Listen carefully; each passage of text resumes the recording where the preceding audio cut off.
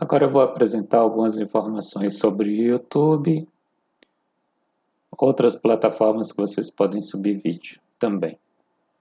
Para você carregar ou enviar vídeos para o YouTube, a primeira coisa é fazer login na sua conta. Caso você não tenha uma conta, você vai criar sua conta clicando nesse botão aqui embaixo, criar conta. Para mim, ou para a sua empresa. Você vai preencher todos esses dados, nome, sobrenome, endereço de e-mail, vai criar uma senha e confirmar a senha.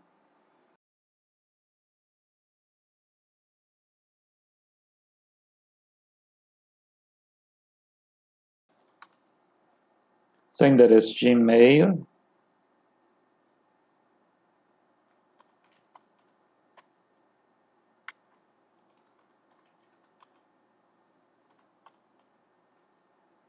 vai digitar uma senha e anotar para que você não perca.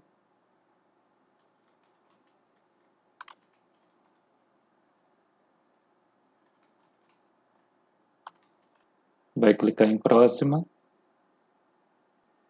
Vai inserir o código que eles enviaram para o seu endereço de e-mail e vai clicar em verificar.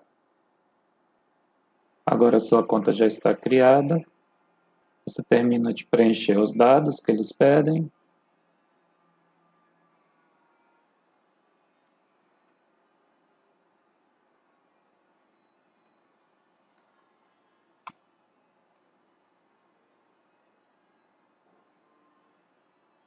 Clique em próxima,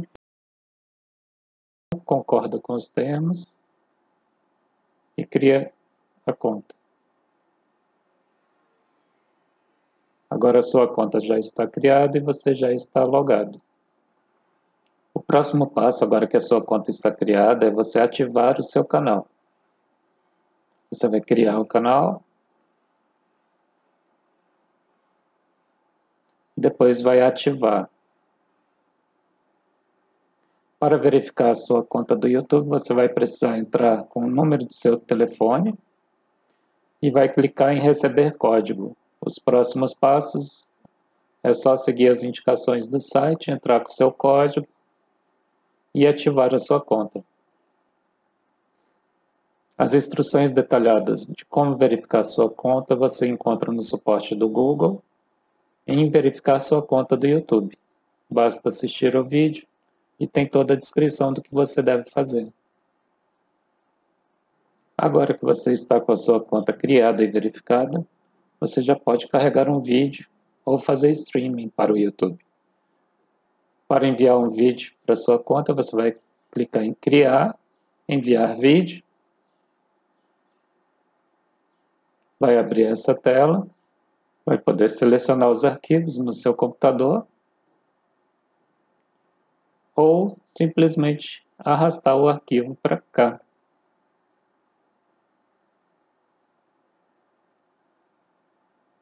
Preencha o título, a descrição do seu vídeo, fala que não é conteúdo para crianças ou se for conteúdo para crianças, clique em sim, é conteúdo para crianças.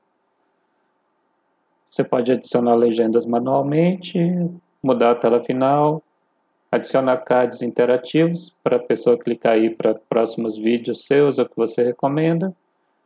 Você pode fazer algumas verificações e você tem três opções para deixar seu vídeo salvo ou publicado. A primeira opção é privado, você vai ter que compartilhar de forma particular e dar autorização para cada pessoa que quiser assistir o seu vídeo. A outra opção é não listado, em que se a pessoa tiver o link do seu vídeo, ela vai poder assistir. E a terceira opção é o vídeo público, em que qualquer pessoa pode, poderá entrar no seu canal e assistir ao vídeo. Quando você clica em publicar, ele vai terminar de carregar na sua plataforma, vai processar e as pessoas já vão poder assistir.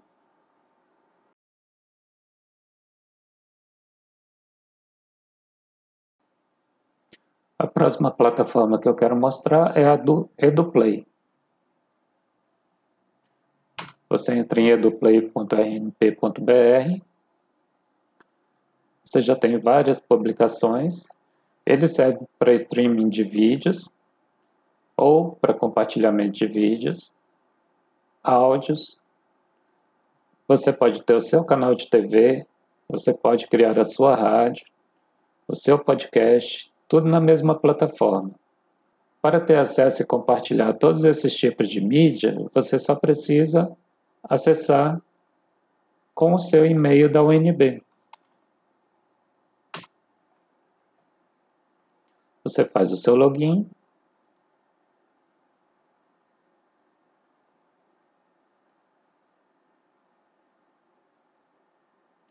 Aceita. E pronto, você já está no seu canal do EduPlay. Em meu espaço, você vai poder carregar os vídeos. Basta clicar em meu conteúdo, enviar, você seleciona entre arquivos, transmissões ao vivo ou podcast, onde você pode gravar os seus áudios. Vou clicar em arquivo para mostrar. Você pode procurar os arquivos ou arrastar o arquivo para esse lugar. Vou arrastar o arquivo para cá. E vou clicar em iniciar envio. Após processado, o seu vídeo vai ficar na sua plataforma, na sua conta. Para isso, você vai precisar preencher esses dados: o título, a descrição, alguma tag que você queira. Você tem a opção de colocar o vídeo como público, público não visível, acesso autenticado, só as pessoas que entrarem na plataforma vão poder assistir ao vídeo, e acesso restrito por senha. Nesse caso, você vai ter que enviar uma senha para a pessoa poder assistir ao seu vídeo. Isso é ótimo para os professores que têm turmas diferentes e não querem que os, os alunos assistam às aulas antes da hora. Ele vai liberando as senhas de acordo com o horário certo para o aluno assistir. Você pode também restringir por geolocalização para impedir que pessoas de outros países assistam ao vídeo. Aqui você cria o link da sua aula. Você escreve uma palavra aqui e automaticamente vai ser gerado um link com aquele nome que você colocou aqui. Você pode programar a desativação do vídeo, colocar no canal ou numa playlist. Quando você clicar em salvar, o vídeo vai terminar de ser processado e vai ficar disponível na sua conta. Em meu conteúdo, você ainda pode gerenciar os seus vídeos e editar. Por exemplo, se você quiser colocar ou tirar a senha, você edita as informações em detalhes. E agora mais uma informação sobre a plataforma de webconferência do RNP onde ficam as gravações. Eu vou entrar com a minha conta e mostrar para vocês. As suas gravações ficam em histórico, onde você vai poder fazer o download da gravação que você fez na sua conta. As gravações da sua comunidade elas ficam em webconferência, histórico, aí você pode selecionar apenas as gravadas, e aqui você pode tanto reproduzir quanto fazer o download da gravação. Para fazer o download é só clicar nessa setinha, selecionar onde vai ser salvo, o nome do arquivo e clicar em salvar. Uma coisa útil sobre a reprodução, você pode clicar com o botão direito sobre as câmeras e salvar o vídeo como. Aí vai gravar só as câmeras independente da apresentação e do chat da sala. Isso é muito útil quando você quer apenas as câmeras da sua webconferência. Outro detalhe sobre os arquivos das gravações da RNP é que existe uma grande diferença entre o arquivo salvo, que fica com esse formato, por radiografias de 22 pacientes FAP obtidas. As câmeras vão ficar nessa lateral, o bate-papo aqui e a apresentação aqui. Agora, o arquivo da transmissão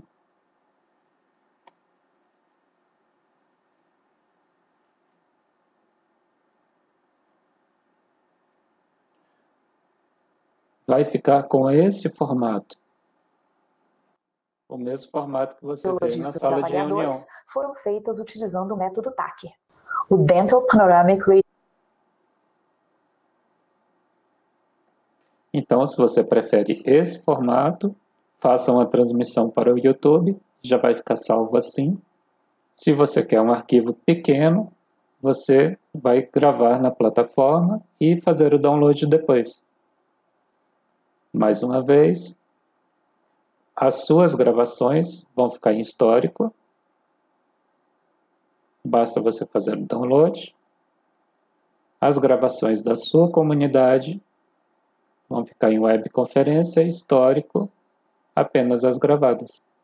Aí você pode fazer o download ou reproduzir para salvar só as câmeras. Espero que essas informações sejam úteis e logo a seguir nós vamos ver as opções de streaming.